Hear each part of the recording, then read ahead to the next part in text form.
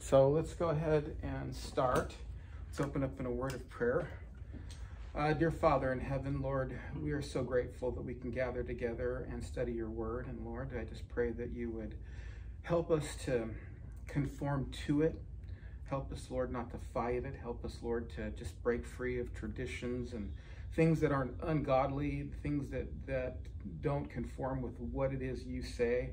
Uh, help us to ever change our theology to uh, reflect your word, even if it challenges long-standing beliefs, Lord. I just ask, God, that we would make your word the sole rule and guide for our lives. And we just say this in Jesus' name, amen. amen. So if you have your Bibles, go ahead and open up. Oh, you are here. Open up to... Uh, you were just mistaken. Thanks, brother. Ashton was sitting there, but oh, it's okay. Ashton can find another spot. He, he can worship somewhere else. He doesn't have to be in. I can sit No, I'm good. This is good because then I can lean back. If you have your Bibles, please open to uh, 1 Corinthians chapter 14, just to get a little bit of uh, Bible reading in as we talk, we've been talking about the gifts of the Holy Spirit and the baptism of the Holy Spirit and the charismatic movement and the Pentecostal movement and all that stuff. So this is our third lecture on the subject. And today we're going to be talking about what is the baptism of the Holy Spirit. And we've looked at different positions throughout church history as far as what different people believed about the baptism of the Holy Spirit. And today I'm hoping to do some work to talk about what the baptism of the Holy Spirit is. Does everybody have it? Do you get it at conversion? Do you not get it at conversion? Is it delayed? There, these are things that have been debated, particularly in the last hundred years. So 1 Corinthians chapter 14 and verse 1, it says, Pursue love and earnestly desire the spiritual gifts especially that you may prophesy. For the one who speaks in a tongue speaks not to men, but to God, for no one understands him, but he utters mysteries in the Spirit. On the other hand, the one who prophesies speaks to the people for their upbuilding and encouragement of and uh, consolation. The one who speaks in a tongue builds up himself, but the one who prophesies builds up the church. Now I want you all to speak in tongues, but even more to prophesy. The one who prophesies is greater than the one who speaks in tongues, unless someone interprets so that the church may be built up. All right. So we're going to be talking about the baptism of the Holy Spirit. This is going to feed into it because it's going to feed in what's the sign of the baptism of the Holy Spirit. Does everybody speak in tongues? That kind of thing. Uh, but last two times I was with you, I talked about the different positions on the baptism of the Holy Spirit and the different and the different types of people who believe different things, which I've already covered. But there was one. How many? Well, let me ask you this: How many waves of Pentecostalism or charismatic? Three. Four. Four. Four. One, two, and three, and then four. And what are the four waves? What's the first one? First wave. No, Pentecostal. Pentecostal, and that happened in 1906. And then the second wave is what's called the New Pentecostal. New Pentecostal, if they called it that. It went by another uh, variety of names, and it was called the Charismatic Renewal Movement. Third and, wave. and third wave is called Third Wave. Vineyard. Sometimes, sometimes it's called the Signs and Wonders. That's where the vineyard movement Well, that's came out of. better. You should. Sometimes, that. but it was just really called the third wave. Because uh, signs and wonders movement went goes a little bit crazy, and a lot of people in the third wave did not go a little crazy. And the fourth wave is called nothing but fourth wave. Because we're, we're still in the middle of this fourth wave. Now, these are not three denominations or four denominations. Don't think of it like that. Don't think, well, this is a denomination. No, these are movements in which, um, in which um, renewed interest in the gifts of the Holy Spirit have been experienced. Okay, so these are renewed uh, interests. Now, during the fourth wave, the only thing that I said that kind of is holding it together is what? What's the only thing really that's kind of, you can say anything really sure about the fourth wave? The academic. Academic. Academic, right? It's very academic. And but you have people feeding in from all these waves uh, in different waves, in different ways, sorry, but what's happening is they're producing a lot of academic work. So they're writing the theological work. So you have Pentecostals writing theological works on why they're Pentecostals and really wanting people to know that this isn't just crazy experiential, that these are these that there's a good reason why we believe this. And the charismatics the same and the third wave the same. The third wave seems to be the biggest part of this fourth wave.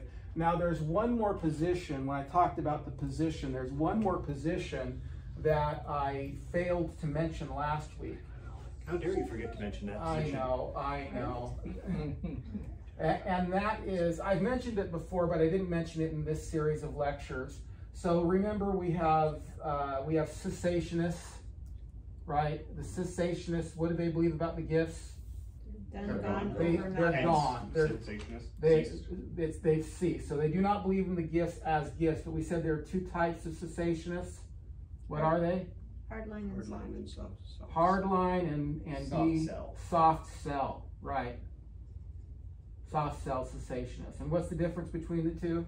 You remember? So Hardline says it's done. It's done. You know, very much the gifts are over. Uh, uh, everybody who is a Christian has received the baptism of the Holy Spirit. What you get, the only gifts that are really gifts for today are gifts like teaching and administration and giving and hospitality. But the charismatic gifts are done away with. Now they will say that the that gifts of healing still might happen, but nobody has them as a gift. They're not gifts anymore. So you can pray for somebody's healing and somebody might get healed, but they're no gifts. So that's not a gift.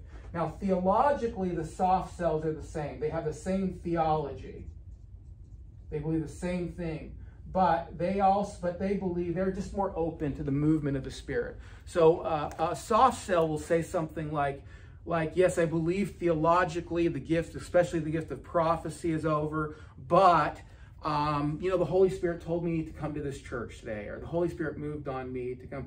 They, they still believe in the promptings of the Holy Spirit, not, but not that they, they, they just don't like that word prophecy. That just gets caught in their throat. They don't like that word prophecy at all.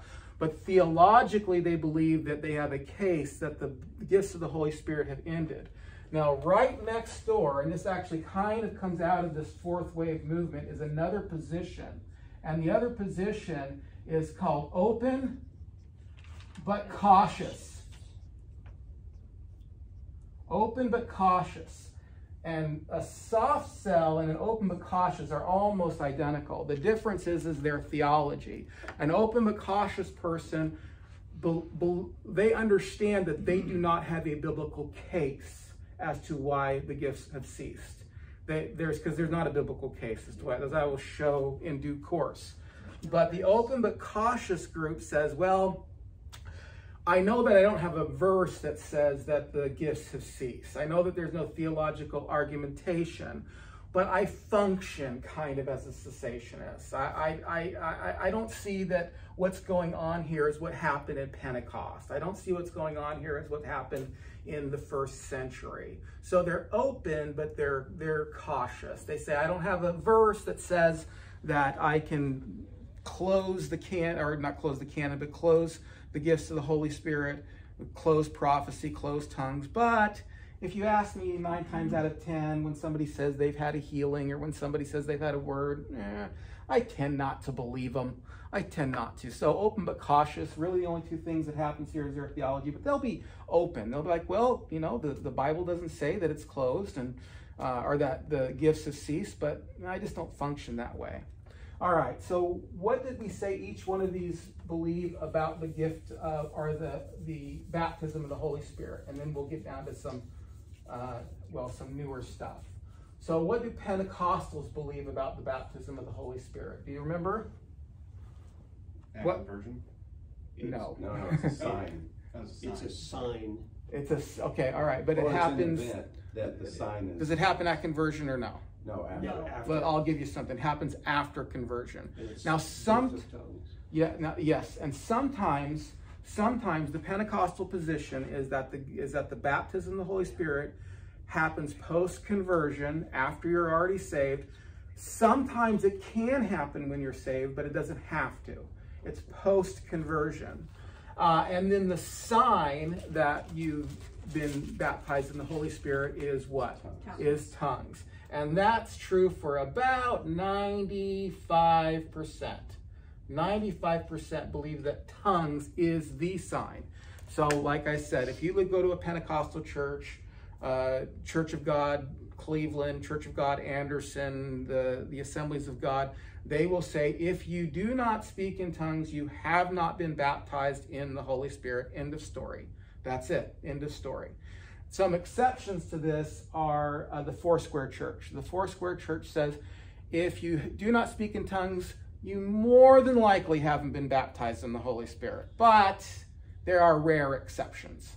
Okay. So what's the what's the charismatic position on the gifts on the baptism of the Holy Spirit? Tongues is not.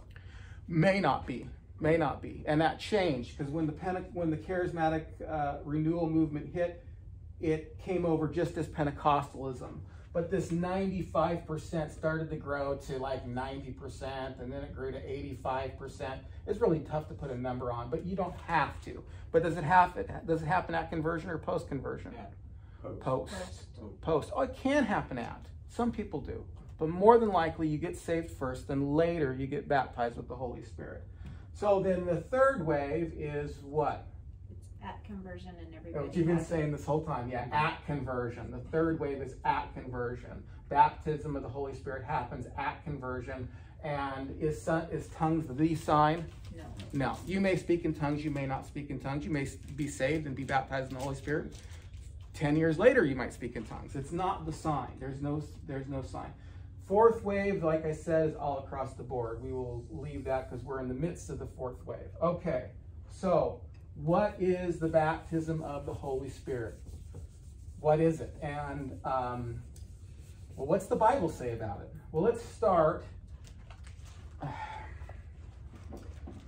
Let, let me start with the statement, and then I'll seek to justify the statement through the Bible. Okay, I'll, I'll start with the statement, then I'll seek to justify that statement. The statement is that in the that under the old covenant, you may or may not have been baptized in the Holy Spirit, and there was a transition period from the old covenant to the new covenant, where you had some delays in the baptism of the Holy Spirit. But now, today, for the most part, and the teaching on it, if you are saved, you have been baptized in the Holy Spirit. Okay. So, number one, what I want to, what I does that make sense? Do you have any questions on that?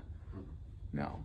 Okay. So once the new covenant has been taken over and the old covenant has gone away with, on salvation as it's administered under the new covenant is everybody has received the baptism of the Holy Spirit. When we get down to what it means. However, first of all, we have to say that number one, that you can't, that not today, but there was a time when people were saved. What do we mean by saved? Going to heaven, right? I, I mean, go ahead and answer. going to heaven. They're saved. They're genuine believers. They're Christians. They're going to go to heaven that there was a time when they were saved but did not receive the baptism of the Holy Spirit. Okay, there, there, that happens in Scripture. Okay, there are people who are saved but did not receive the baptism of the Holy Spirit. So, for example, turn to um, Acts, not Acts, turn to John chapter 7.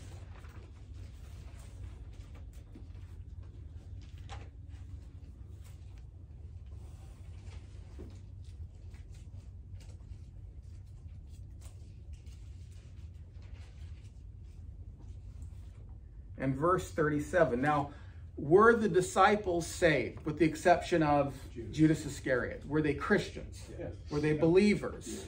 Yes, they were believers. So look at John chapter 7 and verse 37.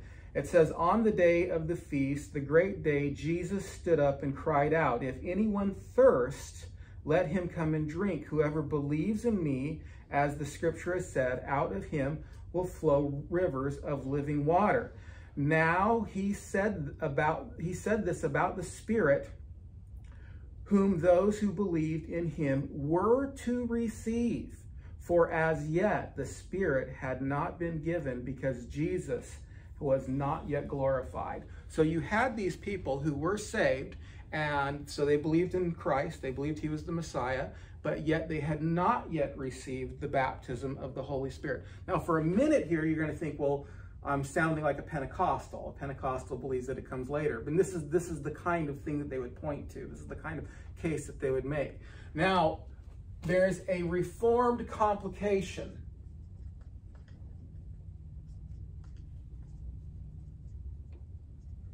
Because reformed people, what's the fourth point of Calvinism? Perseverance. No, that's the fifth point. Oh oh, oh, oh, oh, Irresistible. Irresistible grace. And irresistible grace says that re what? Re Generation generation precedes precedes what? salvation. Precedes well prece- I would I would probably say faith. Faith. Regeneration precedes faith. So this means that before anybody can express faith in Christ or faith in in God, uh, the true God of the Bible, that God has to first remove the stony heart out of out of that person. So we would say that the Holy Spirit has already done this in the lives of many people who've come to faith. So turn to um, turn now this is where I dropped the ball. Personally speaking, this is where I got hung up because I thought, well, if I'm saved, that means the Holy Spirit has come and taken that heart of stone out and putting a heart of faith and given me a heart of flesh. But that, but everybody in the Old Testament experienced that, and that was way before Acts chapter two. So uh, turn to Matthew chapter uh, Matthew chapter sixteen.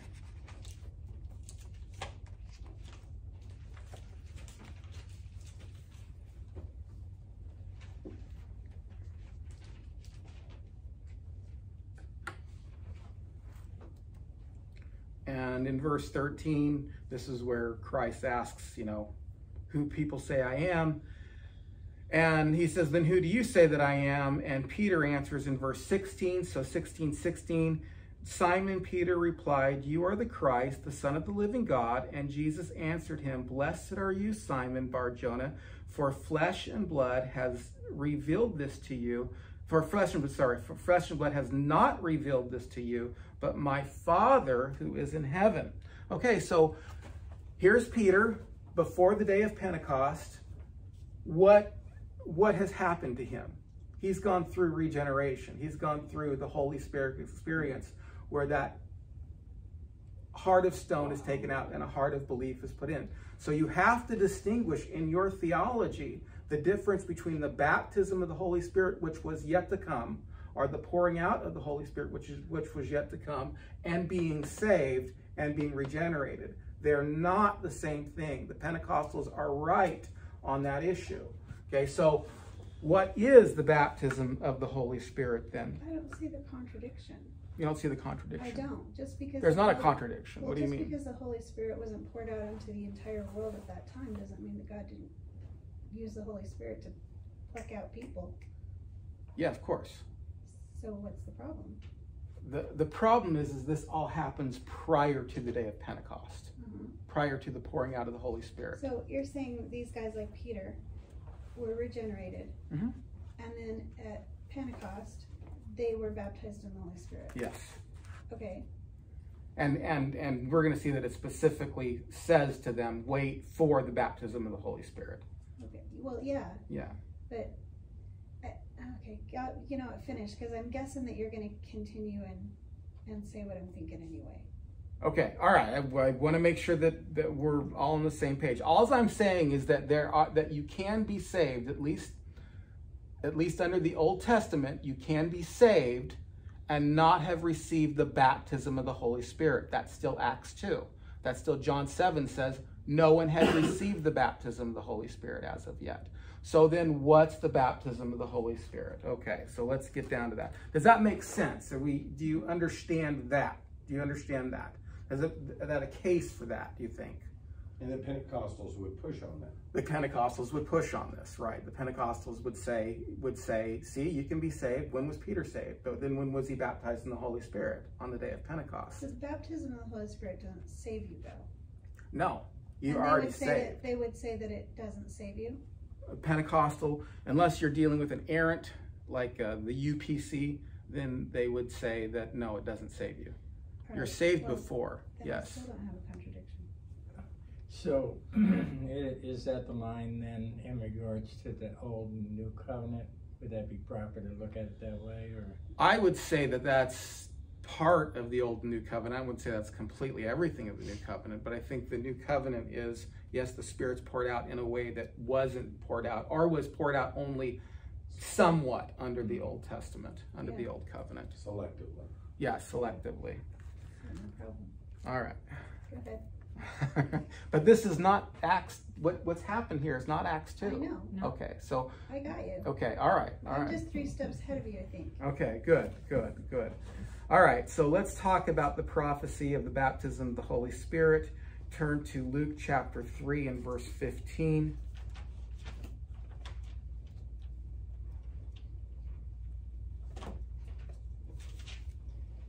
Oops, going the wrong way.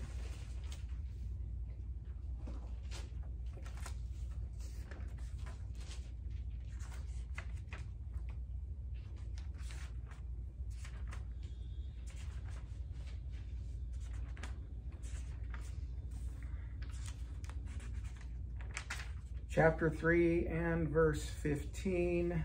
Uh, let's see. And verse 16, sorry. And John answered them all, saying, I baptize you with water, but he who is mightier than I is coming, the straps of whose sandals I am not worthy to untie. He will baptize you with the Holy Spirit and with fire. So Jesus is the one who's doing the baptism and he's going to baptize in the Holy Spirit. And this is still future from here. But he's saying he's going to baptize you in the Holy Spirit and fire. Um, there's a couple places in the Old Testament where Moses uh, is ministering and some of the people under Moses is ministering and they start performing these miracles. And Moses says, well, I wish everybody was like this. I wish everybody was baptized in the Holy Spirit. I wish everybody. And then, and then in Joel chapter 2, which we'll pick up in Acts chapter 2, in Joel chapter 2 says there's a prophecy that says uh, the day is coming when everybody will receive the Spirit, the old, the young, people, um, your maid servants, females, males, old, young, will receive that baptism of the Holy Spirit. That's prophecy up till then. Now, also prophecy is turn to Luke chapter 20, last chapter, chapter 24.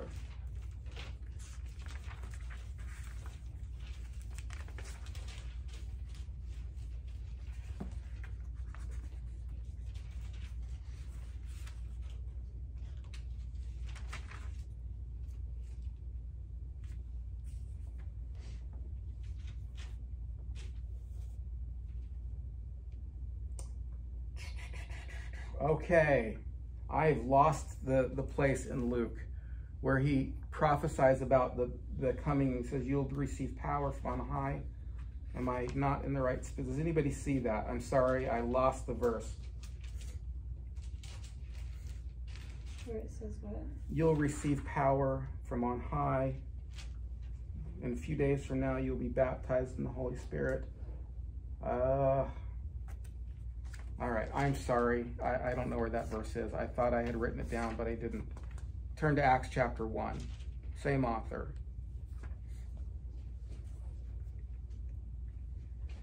In verse 8.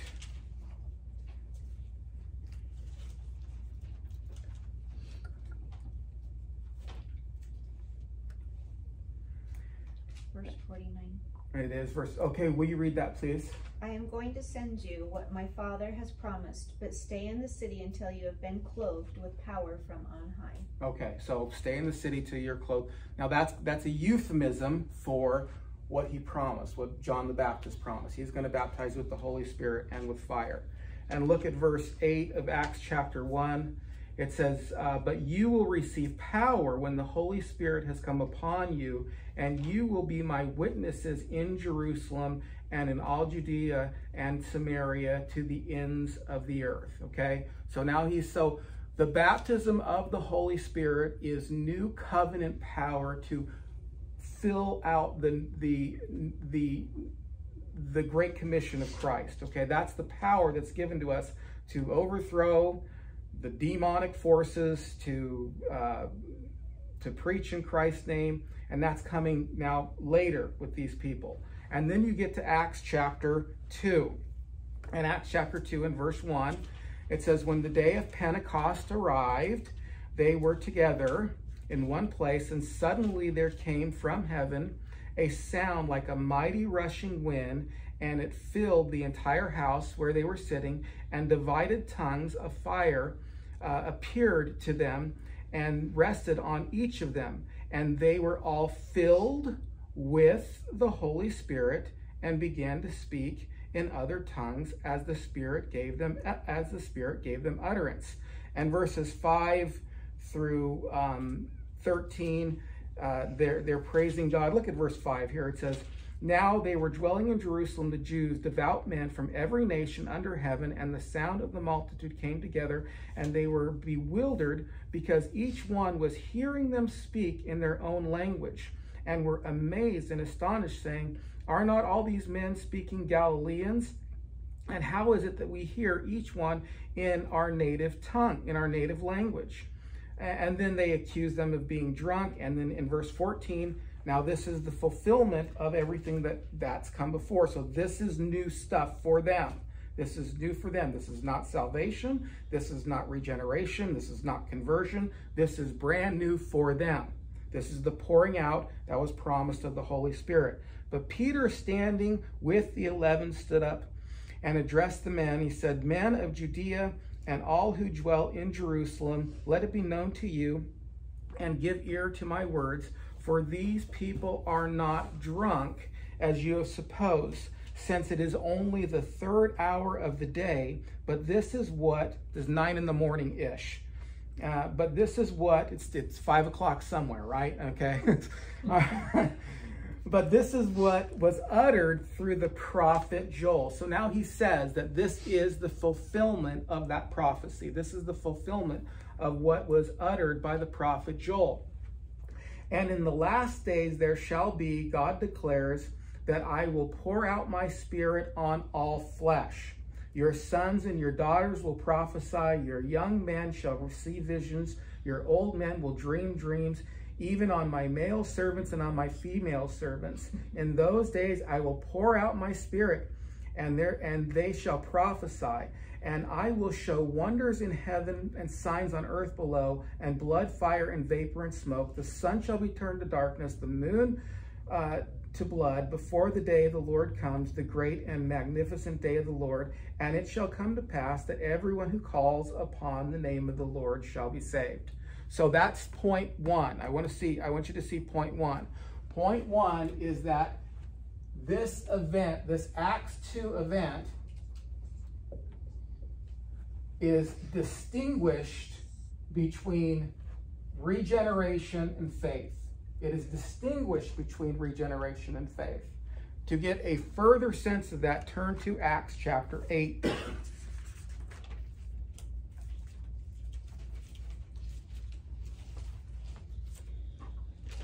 and verse 4. Um, Well, I'll summarize here because we're running low on time. But in Acts chapter 8, uh, you have the, you have Philip um, preaching to the Samaritans. Okay, he's preaching to the Samaritans, uh, but and they get saved. They they get they they believe, and then Peter comes down because this is the first time the gospel is going outside this Jewish community. It's, so it's a significant event. But when Peter comes down, he sees that they have that they're saved, that they're believers, but they have not received the baptism of the Holy Spirit. And if you look at verse 14, it says, Now, when the apostles at Jerusalem heard that the Samaritans who had received the word of God sent they sent to, him, to them Peter and John, who came down and prayed for them that they might receive the Spirit, for he had not yet fallen on any of them. Okay, so let me let me just ask you this question. It's not the same yet okay? It's not it's distinguishable. Someone can have the inward work of regeneration to bring them to faith. They can believe in christ. But now the question is but the the, the point i'm trying to make is distinguished. They're not the same. Now here's the biggest question. Now here's the the, the 64 million dollar this is what we're all fighting over. From now on does everybody who believes have the baptism of the Holy Spirit? That's the big question now. Does everybody from here on out have the baptism of the Holy Spirit? And if they do, what do we do with this Acts chapter 8 event? Because these people don't. And this is where the um, uh, the Pentecostals are going to push on the gas, and this is where I'm going to fight back. So let me tell you, I'm going to say, I'm going to say um, uh, yes, but I, I am going to leave that to your conscience to decide. Okay, I'm going to leave that to your, because there are many good men who do not believe that, who believe that this empowerment, not all Christians have this empowerment. But I'm going to say everybody who's been saved now has been baptized by the Holy Spirit. And let me give you an example of the error that the, that the, that the Pentecostal and the charismatic position make. I'm going to give you an example of the error, and then I'm going to seek to justify um, that through Scripture. Here's the example of the error, okay? And it has to do with pushing the ball of redemption forward. So, under the old covenant, when people died, where did they go? Abraham's bosom. Abraham's bosom. Paradise. Paradise. Now that Christ has died, risen again, ascended into heaven, now where do we go? Ever to the throne of God. Yeah, yeah, where do Christians go? huh? To the throne of God. Would it make any sense to argue from that's what happened when you died? You went there, and then people were there, and then they went into heaven, right? Now, would it make any sense to say, okay, so now we've got a pattern? So when you die, you'll first go to Abraham's bosom, and then you'll go to heaven. You'd be like, no, no, the ball of redemption has been pushed forward in a significant way. And now that the ball of redemption is pushed forward in that way, that's not just because that was the pattern then, doesn't mean that's the pattern today. Okay, so then here's the second illustration John's baptism. John's baptism came before Christ's baptism and ran parallel along with Christ's baptism, right? And many of the disciples were baptized by John first and then baptized by Jesus afterwards. So you should be. We should have two baptisms. We should have the baptism of John. Didn't the disciples get baptized by John first? Yeah. And didn't they then go over to the Christian baptism? Yeah. So that's a pattern of history, right? You should be baptized by John, then you should be baptized by Jesus in the baptism of Jesus. Now, would that wash with you today? No. No. No. Why not? I mean, I've got a pattern of history. Peter and Andrew were baptized by John, and then Peter and Andrew were baptized by Jesus, and then you should do that, right? You should be baptized in John's baptism, then baptism in Jesus' baptism. We've moved on. We've moved on, right? You would say that the pattern of history, now that it's moved on, has established a new pattern because of the the because of the work of redemption has moved forward. Okay, now here's the question. Then how do we know that the pattern of history has moved on? Right? Because if you're just here and you're looking at these verses, Pentecostalism looks pretty good. Like, well, I, I, I'm saved, and I know some people who are more empowered for ministry uh, than others. So how do we tell then that the position that now today all Christians who've been all Christians who are saved have been baptized in the Holy Spirit? How do we tell? Better be in there. Huh? It better be in there. It better be in the Word. It better be in the Word.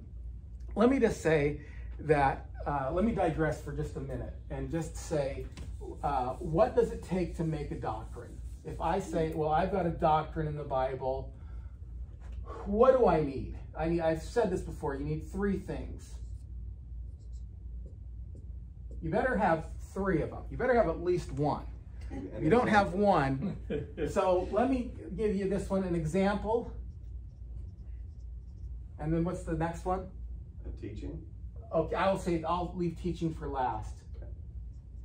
a practice, Uh, a command. or a command. A command. Okay, so in order for us to, you, there better be an example in the Bible, there better be a command in the Bible, and there better be a teaching in the Bible somewhere. Now, some people, you just have an example or you just have a command. That's like riding down the rapids on, in with with one with uh, with one log. Okay, could you imagine riding down the rapids? You're gonna get, you know, you're riding down there and you've just got one log to hold on to. You're, oh, oh, oh. you know, you can do it. You can hold on to it, but you. The problem is, is you if you don't have all three, you can kind of get yourself into some trouble, especially if one contradicts the other. Doesn't contradict, but seems to. I'll just say that the Bible doesn't contradict itself, but if one contradicts the other, so an example is uh, Mary was uh, Mary conceived Jesus by the power of the Holy Spirit, right? I mean, that's an example. So, should we have the conceiving children by the power of the Holy Spirit uh, without a male counterpart today? You'd say, well, no, because you just have an example of that. Okay, you could have a command too. A command could be uh, go and, you know, they said go and kill all the men, women, and children. So we go out and we kill all the men, women, and children, right? Of the people who don't believe today. That was a command back in the Old Testament. You'd say, not so much. The big deal is what's the teaching on this. You've got to have a teaching, and then you got to have all of them to make a big, solid doctrine. This is why I gave up infant baptism, by the way. This is why uh, the, the pre tribulational rapture thing is a, is a hoax. They don't have any of this. There's no teaching on it. There's no command on it. There's, there's none of that on it. It's all, it's all imp, implied. They try to get it from an impl, implication. Okay, so here's the deal. And this is why I fall down on the side is that all the teaching on the baptism of the Holy Spirit says that all Christians today have it. All Christians today have it. And that's where the teaching is. So I understand that, but I've got to come up with a reason why we have examples and commands that seem to contradict it, right? I got to come up with, there's got to be a paradigm in which these things fit and flow. And that paradigm is, let's see, well, no, we've got some time. We get deep breath, deep breath. So let's look at Acts chapter 2. I'll give you plenty of time to jump up and wiggle around here. Speak in tongues.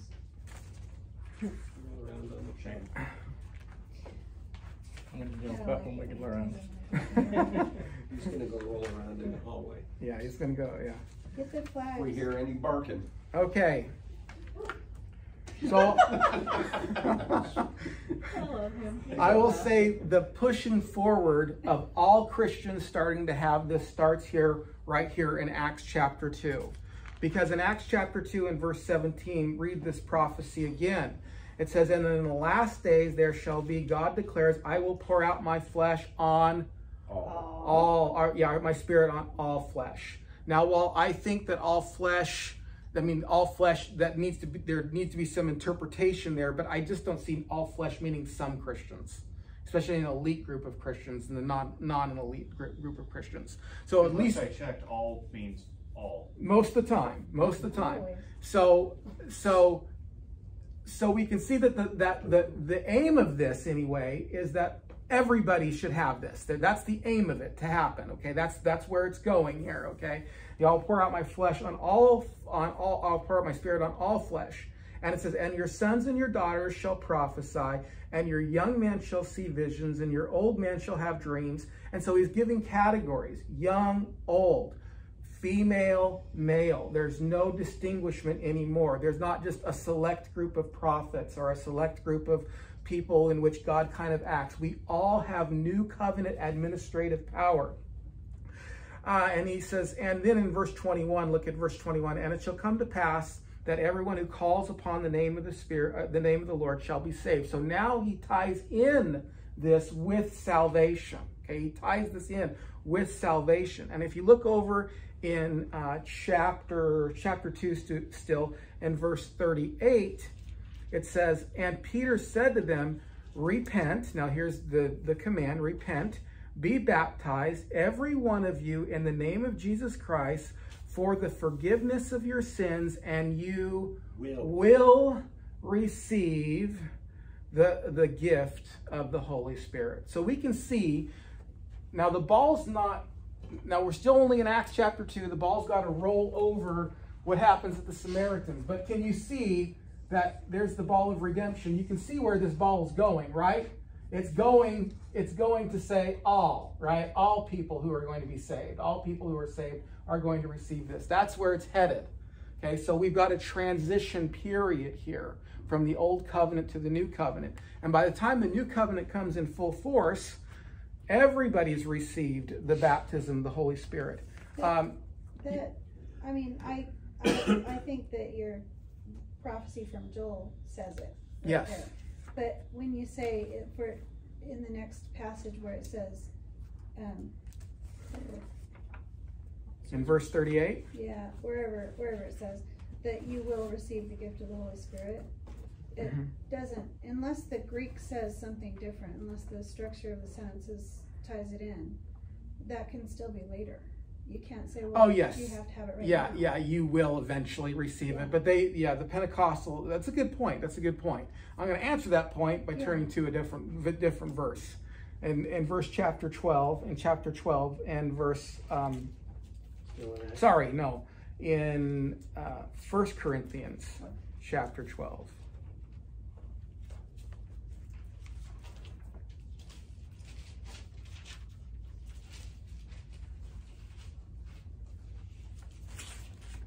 And and by the way, that is the kind of argumentation which I said I will leave that up to your conscience. Because some people say you will receive the gift of the Holy Spirit. There could be a lag time. However, I wouldn't I, I cannot say that there are people who have received it and people who haven't.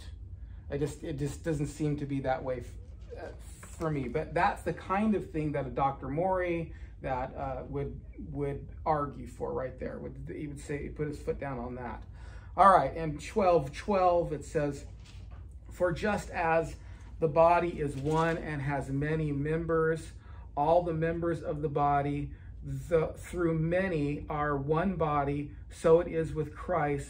For in one spirit we were all baptized into one body. So the teaching here, the teaching here is what gets you in the church is the baptism of the Holy Spirit. You are placed in the body of Christ through the baptism of the Holy Spirit. That is the new covenant reality of the church versus the old covenant shadow of Israel. So you're coming into the body through the baptism of the Holy Spirit. Now you you know you've got not a good translation there. I'm sorry. Your yours says it's baptized by the Holy Spirit. Nope, because it got crossed out and the word in is written there. Oh, you did. Okay, all right. It So has the been repaired and the, fixed. the, and the. NIV translates this this Greek word right here is by, Like, no, mine says in. and it's not. That's the word in, and it means in. And I don't know why they did that, other than maybe they leaned Pentecostal and they didn't want to have that word by there, or they didn't want to have the word in there. But they will say by the Holy Spirit, and they'll say, well, that's the different than the baptism of the Holy Spirit. Um, and they make a big deal out of that. They do have a footnote though that says or with or in. Yeah. Okay. All right, we're about to close it up here. Any questions on this before we close this up and get on to our Yeah, me blathering on some more about some other stuff? Awesome. the passage that you read about, um, John and Peter, I think, going to administer the Holy Spirit to the Samari- Samaritans, Samaritans, Samaritans? Yes. Um, wouldn't you say that when something is brand new, the very first time something major happens, like the gospel goes away from the Jewish community, Mm-hmm. that something big always precedes that so that it's it's a major issue. So when you have a really big, huge, like Old Testament miracle, Mm-hmm. and three hundred thousand people become Christians suddenly, Mhm. that's the first time that happened, right? Yes. So I don't think that you can say because of that passage that now we have to have a separate event. Because in that time, it was a first event. Mm-hmm. And now it's not a first event. This Holy Spirit has been loosed onto the world. I would I would argue that exact reasoning that it's here now. Yeah. That now the ball and and the delay comes from remember what Jesus said, you will be my witnesses in Jerusalem Mhm. and Samaria and the Gentiles and to the end of the earth. And so each one of those you'll see have a Pentecostal experience Right. in the book of Acts. Okay, go ahead. And as time goes on, the ball's moving forward, and that delay is getting shorter and shorter and shorter until it's It's immediate. At, for the Jewish community, after that, people who get saved automatically receive the, the, yeah. the, the But as Spirit. it goes out to Yep. the world, as the Spirit's being poured out, the delay gets shorter and shorter until it's instantaneous. You, you do hear sometimes of those kind of Pentecostal events when missionaries go to a Experience. tribe or, or somewhere in Yeah. Russia that never received it, and all of Uh-huh. a sudden, you know, people are filled with joy, But and it's the there's first things time. happening. Yeah. They haven't had it before. So Yeah, that, I would- that could be, that could be part of the pattern.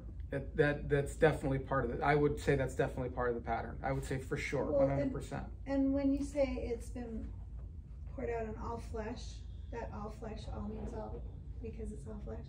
It is all flesh, because it doesn't have any qualifiers like all who believe, you know what I mean? Right. So wouldn't that tie into special and, and general revelation? Everybody has some kind of experience with the Holy Spirit because we have this general revelation. And that's the Holy Spirit speaking to people, right? Um, I would not. I would have to think about that. I don't know if it's the Holy Spirit speaking or in what way, or if there's any qualifiers on that. After one of those I- verses, the following verses was talking about who the Lord had called. Oh, Yeah, I after more the say- all, after the Joel prophecy? Yeah, I would more say that has to do with males, females, slave, free, Okay. and then all tribe, tongue, and nation that we see in the book of Revelation. Right. All of the chosen. But Yeah. still, it's still, that, that makes sense to me, but it's still speculation. All right. Want to be good Calvinists. Well, we'll we'll pick up the discussion on I'm this skeptical, yeah. next time. Two Uh, thirty-nine, the promises for you and your children and for all who are far off, for all whom the Lord your, our God will call. Yeah, yes. Thirty-nine? Like, I know Good I just eyes. read that. Good eyes. No, she has Okay. bad eyes, she has to wear bifocals. Awesome. Good That, insights. that. Yeah, fixes cause that thirty-eight. Good is what glasses. is like, Ju- is forgiveness of your sins. da, No, da, da, da, you're right, and that then the very it. next verse is Thank like, you. it is not, it's for who he is called. Good job. See, the Holy Spirit's poured out. It's not just me. It's, it's all of you. We, we all have the ability to prophesy and teach and all that stuff. Uh, Ashton, we, oh Sorry, I wasn't here last week. Did you, did you differ, have you talked about prophecy specifically? no, not yet. Okay. No, we're still just talking about the baptism of the Holy Spirit. Then we'll talk Yeah, about the to get through gifts. that then We we don't move that fast, prophecy. Um, Ashton, will you pray for us? I suppose. Okay. Lord, thank you that we're able to come together as a family, dig into your word, and get to understand it more. Get to know you more and draw closer to you, Lord. I thank you for this small little community of family that we're able to get together and do this. And I just have to say thank you for that. Mhm. Give Ian the wisdom he needs to preach the message here in a few moments, and that he doesn't have a Freudian slip. Amen. Amen. Pray for that too. Thank you. All right. Oops.